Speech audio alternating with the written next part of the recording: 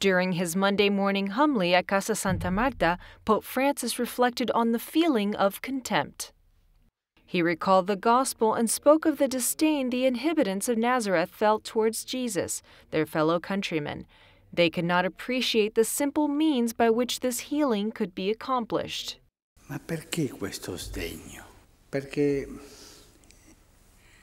nel nostro immaginario la salvezza deve venire da qualcosa grande, di qualcosa maestosa. Solo ci salvano i potenti,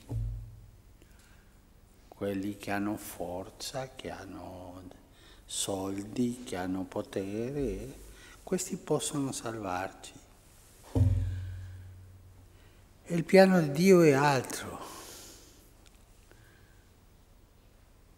Si sdegnano perché non possono capire che la salvezza soltanto viene dal piccolo, della, dalla semplicità delle cose di Dio.